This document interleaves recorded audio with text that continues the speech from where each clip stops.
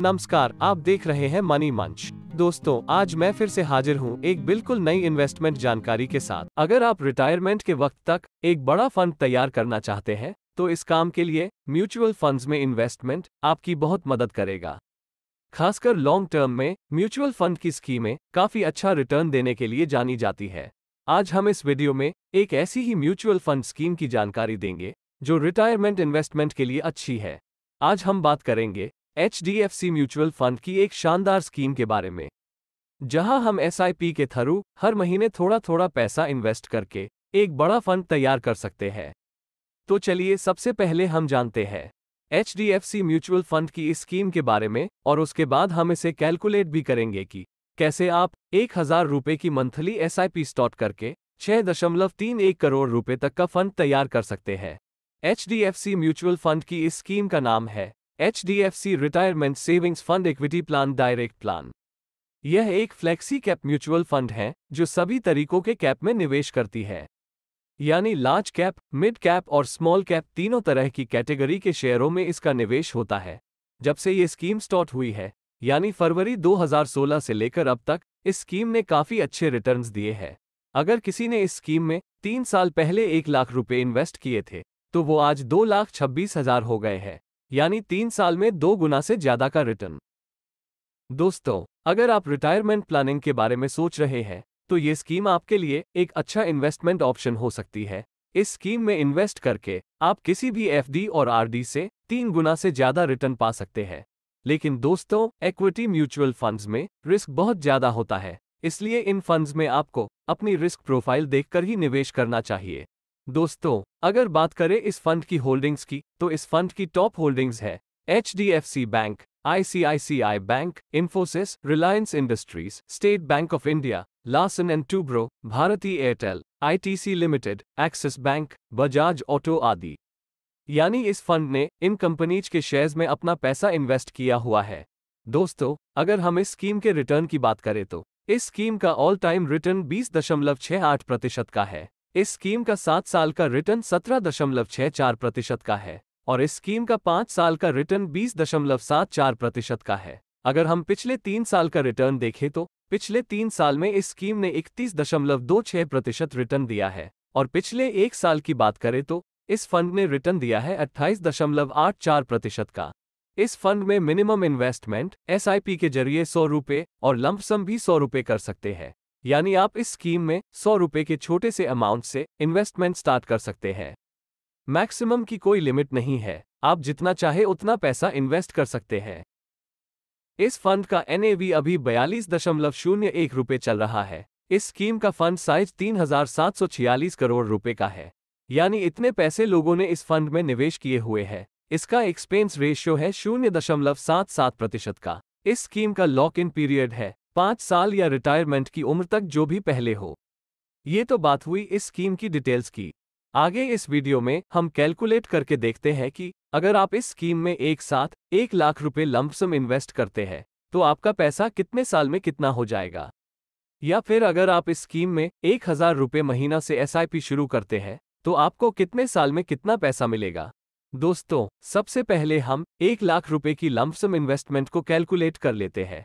यहाँ पर हमने रिटर्न माना है 20 प्रतिशत का जो कि इस स्कीम का ऑल टाइम रिटर्न है। दोस्तों, यहाँ पर आपको एक बात याद रखनी चाहिए कि म्यूचुअल फंड में रिटर्न्स की कोई गारंटी नहीं होती है। यहाँ पर हम 20 प्रतिशत का रिटर्न सिर्फ़ कैलकुलेशंस के लिए मानकर चल रहे हैं। और आने वाले टाइम में ये 20 प्रतिशत से कम या ज़्यादा हो सकता है। अगर आप इस पैसे को पाँच साल के लिए इन्वेस्ट करते हैं और इस पर रिटर्न मिल जाता है बीस प्रतिशत का तो यहाँ पर आपको जो रिटर्न मिलेगा वो होगा एक लाख अड़तालीस हज़ार आठ सौ इकतीस रुपये का।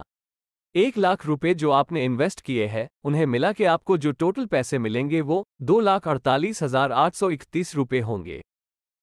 अगर आप इस पैसे को दस साल के लिए इन्वेस्ट करते हैं और इस पर रिटर्न मिल जाता है बीस प्रतिशत का तो यहाँ पर आपको जो रिटर्न मिलेगा वो होगा पाँच लाख उन्नीस हज़ार एक सौ तिहत्तर रुपये का। एक लाख रुपए जो आपने इन्वेस्ट किए हैं, उन्हें मिला के आपको जो टोटल पैसे मिलेंगे वो छह लाख उन्नीस हज़ार एक सौ तिहत्तर रुपए होंगे। अगर आप इस पैसे को 20 साल के लिए इन्वेस्ट करते हैं और इस पर रिटर्न मिल जाता है 20 प्रतिशत का तो यहाँ पर आपको जो रिटर्न मिलेगा वो होगा सैंतीस लाख तैंतीस हज़ार सात सौ उनसठ रुपए का। एक लाख रुपए जो आपने इन्वेस्ट किए हैं, उन्हें मिला के आपको जो टोटल पैसे मिलेंगे वो अड़तीस लाख तैंतीस हज़ार सात सौ उनसठ रुपए होंगे। अगर आप इस पैसे को तीस साल के लिए इन्वेस्ट करते हैं और इस पर रिटर्न मिल जाता है बीस प्रतिशत का तो यहाँ पर आपको जो रिटर्न मिलेगा वो होगा दो दशमलव तीन छह करोड़ रुपए का। एक लाख रुपए जो आपने इन्वेस्ट किए हैं, उन्हें मिला के आपको जो टोटल पैसे मिलेंगे वो दो दशमलव तीन सात करोड़ रुपए होंगे। अगर आप इस पैसे को 35 साल के लिए इन्वेस्ट करते हैं और इस पर रिटर्न मिल जाता है 20 प्रतिशत का तो यहाँ पर आपको जो रिटर्न मिलेगा वो होगा पाँच दशमलव नौ शून्य करोड़ रुपए का। एक लाख रुपए जो आपने इन्वेस्ट किए हैं, उन्हें मिला के आपको जो टोटल पैसे मिलेंगे वो पाँच दशमलव नौ एक करोड़ रुपए होंगे। इस प्रकार आप इस स्कीम के अंदर एक साथ एक लाख रुपए इन्वेस्ट करके 35 साल में पाँच दशमलव नौ एक करोड़ रुपए तक का फंड तैयार कर सकते हैं। दोस्तों, अब हम कैलकुलेट करके देखते हैं कि अगर आप इस स्कीम में एक हज़ार रुपये महीना से एसआईपी शुरू करते हैं तो आपको कितने साल में कितना पैसा मिलेगा? यहाँ पर हमने रिटर्न एक्सपेक्ट किया है 20 प्रतिशत का, जो कि इस स्कीम का ऑल टाइम रिटर्न है। अगर आप इस एसआईपी को 10 साल जारी रखते हैं, और इस पर रिटर्न मिल जाता है 20 प्रतिशत का तो यहाँ पर आपको जो रिटर्न मिलेगा वो होगा। दो लाख बासठ हज़ार तीन सौ चौसठ रुपये का।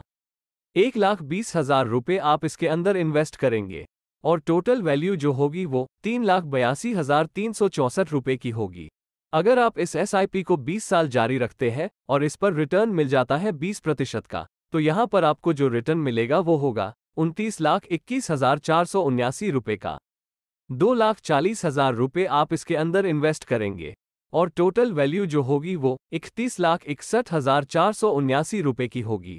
अगर आप इस एसआईपी को 30 साल जारी रखते हैं और इस पर रिटर्न मिल जाता है 20 प्रतिशत का तो यहाँ पर आपको जो रिटर्न मिलेगा वो होगा दो दशमलव तीन शून्य करोड़ रुपए का। तीन लाख साठ हज़ार रुपये आप इसके अंदर इन्वेस्ट करेंगे। और टोटल वैल्यू जो होगी वो दो दशमलव तीन चार करोड़ रुपए की होगी। अगर आप इस एसआईपी को 35 साल जारी रखते हैं और इस पर रिटर्न मिल जाता है 20 प्रतिशत का तो यहाँ पर आपको जो रिटर्न मिलेगा वो होगा छह दशमलव दो सात करोड़ रुपए का। चार लाख बीस हज़ार रुपये आप इसके अंदर इन्वेस्ट करेंगे। और टोटल वैल्यू जो होगी वो छह दशमलव तीन एक करोड़ रुपए की होगी। इस प्रकार आप इस स्कीम के अंदर एक हज़ार रुपये महीना से एसआईपी शुरू करके 35 साल में चार लाख बीस हज़ार रुपये जमा करके छह दशमलव तीन एक करोड़ रुपए तक का फंड तैयार कर सकते हैं। दोस्तों, यह इस फंड में निवेश की सलाह नहीं है। म्यूचुअल फंड में निवेश बाज़ार के जोखिमों के अधीन है, इसलिए निवेश से पहले अपने एडवाइजर से परामर्श कर ले। तो आपको ये प्लान कैसा लगा? इसके बारे में हमें कमेंट करके ज़रूर बताएँ। इसके अलावा, आप कौन से म्यूचुअल फंड्स के बारे में वीडियो देखना चाहते हैं, वो भी हमें कमेंट सेक्शन में ज़रूर बताएँ।